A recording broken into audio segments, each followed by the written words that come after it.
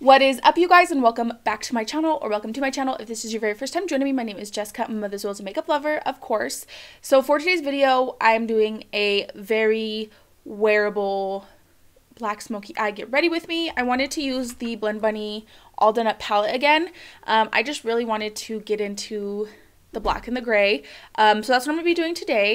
Um, I'm going to be doing my eyes as well as my face makeup. Everything's going to be super, um, like, full coverage, stay all day.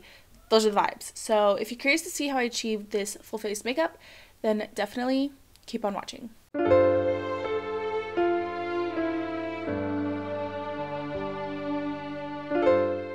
Okay, so for today, I wanted to use the Blend Bunny Cosmetics All Done Up palette again.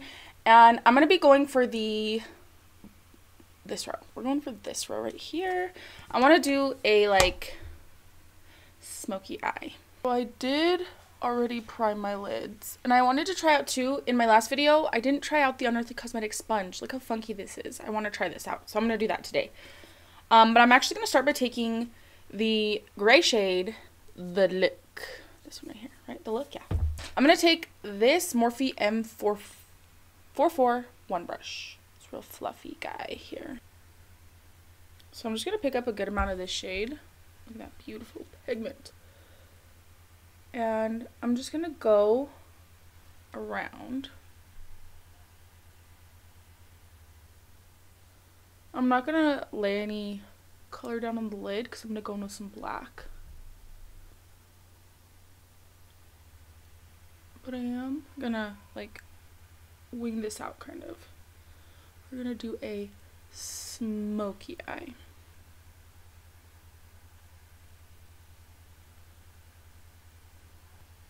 Wow, this is a really nice shade. I think this would be a nice, it's like a purpley kind of gray. Like I feel like there's like a purple undertone to it. Maybe a little bit of like a baby blue. Maybe like a periwinkle undertone. I'm gonna make sure the other side matches before I move on. But you can see I didn't bring it down to my lid. So I have some like base, like kind of wet base right here. So the black will really stick and pop. So now I'm going to take this Makeup Shack T44 brush. There is some shadow on it, but I'm going in with the black, so it's really going to cover this up. And this was like a brown. It's totally fine. Um, so I'm going to take the shade Smokin'. And you know what I really want to do is... Um, I, I wish I had like a shiny black shimmer. I used to have one. I had this palette. Um, it was by um, Vanity Makeup, I believe. And I had, I don't know if you guys remember, I had all my palettes on a shelf. My kid pulled the shelf down and he pulled down all of my eyeshadow palettes. And that one, $100 eyeshadow palette, like $90 eyeshadow palette, shattered. And that was like, I think that was like my only black shimmer. Let me see. Actually, okay, I do have this, the Dollhouse palette, also by Blend Bunny Cosmetics, has this shade in here called Harlequin, which kind of looks maybe like a little bit greeny. Let me see. Let me swatch it. Nice and dark though. Yeah, let's do, we'll do that one. And I'll try out the Glimmer Grasp again.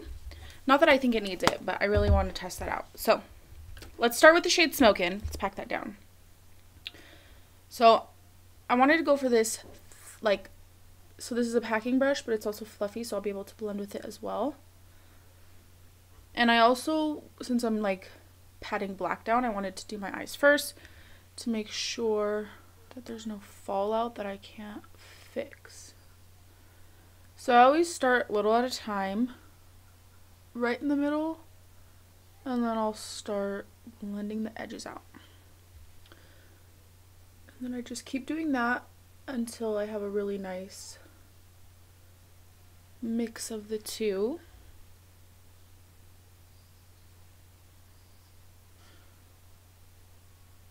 Okay, so this is kind of where I'm at with the black. Now I'll go back into the shade The Look.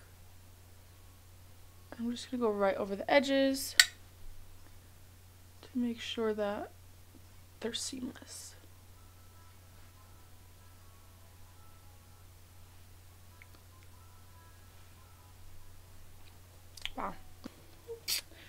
This is what the smoky eye is looking like. Super cute, I think. Um, so now I'm going to take the Unearthly Cosmetics Glimmer Grasp.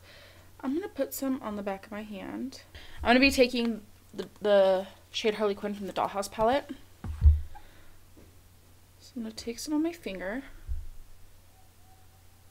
And I'll pat it down everywhere. To wipe it off. A little bit much. Um, I'm going to pat it everywhere where I want that shimmer to really pop. And this will also be the test too since I'm wearing this out. Um, if it's to crease. So I'm just to go ahead and pop this on. Ooh. Yes.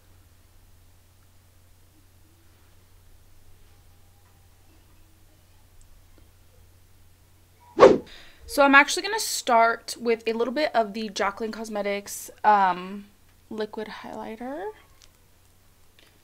Shade Lightning. I'm just going to put this on my cheeks. For today, I'm going to be taking the NARS Soft Matte Complete Foundation, shade Mont Blanc. Put some of this on my hand. And I'm going to take a little bit of the blue LA Girl pigment, shade blue, to help color correct this a little bit. Just make it match my tone better.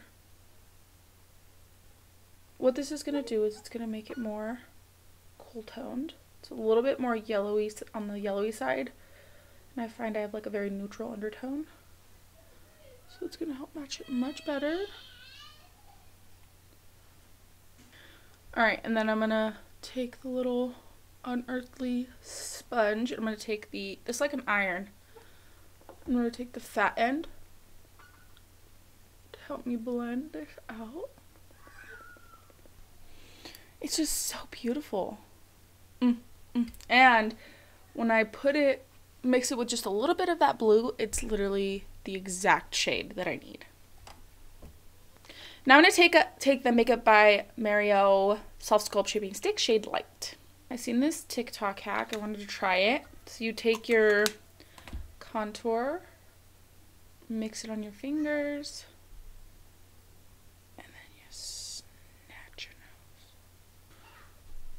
That shaping stick is so pretty. Alright. So for my concealer today, I'm going to be taking the Huda Beauty uh, Faux Filter Concealer shade Royal Icing. I do not like the way that this smells, but it is a really nice concealer. So I think I'm going to take this end, so the top half, and I'm going to smush it. Well, not yet when I get into my like inner corner, I'll smoosh it.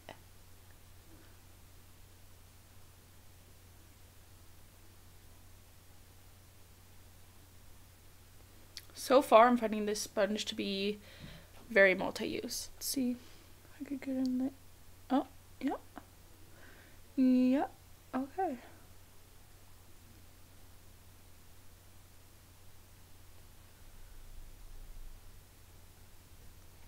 Beautiful. I do feel like I need just a little bit more coverage. So what I'm going to do is I'll put some right here. I'll give that a second to set. I'm going to be taking the Jaclyn Cream to Powder Blush Stick sh shade Royal Flush because I'm doing like the whole maroon red vibe. So I'm going to melt some onto my hand. And I'm going to take a brush.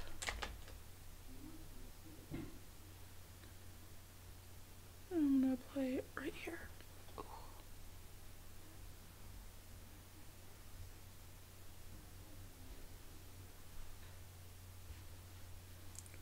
Okay. So I'm just making sure to tap out any creasing. And then I'm going to take a little poof. I'm going to take one of these little poofs. And I'm going to take the e.l.f. Camo Powder Foundation. This is shade Fair 120N. And I'm actually going to use this to set under my eyes. And I'm going to take the Huda Beauty Pound Cake. Um, and I'll use this on, I think I'm going to do a brush today. Camo CC powder right under the.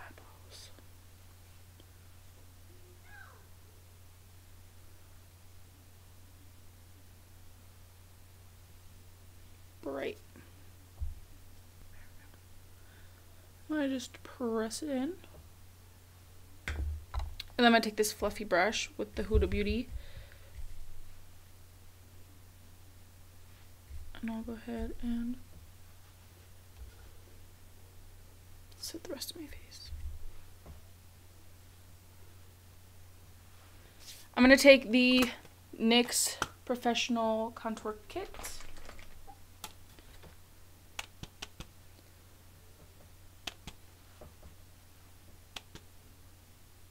A little bit. Alright, so I know that everything still looks kind of intense, especially like um, under my eyes. Let's see, what blush do I want to use? I think I'm going to use this P. Louise blush, and I think I'm just going to go in with these two shades mixed together. And I'm just going to use this to help blend my under eyes into my blush. Okay, today I'm going to be setting with the um, Charlotte Tilbury airbrush. What is this? The Flawless Setting Spray. I think today we'll take the Artist Couture Coco Bling highlighter. The, the shade is Coco Bling.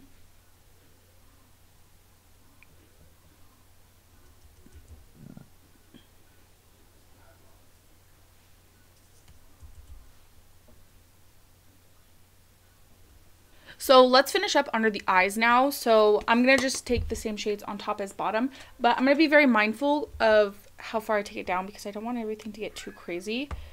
But I'm going to start with the black. And I'm actually not going to take this all the way. I think I'm going to take it about like a little past halfway.